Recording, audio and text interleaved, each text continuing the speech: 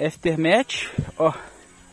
Não sobrou muito para contar a história, mas funcionou. Acionou todos os quatro motores, e o principal óbvio, né? E o cano PVC, que é PVC, já viu, né? Acontece isso aí com ele. Mas ó, subiu um pouco reto, mas foi muito bonito.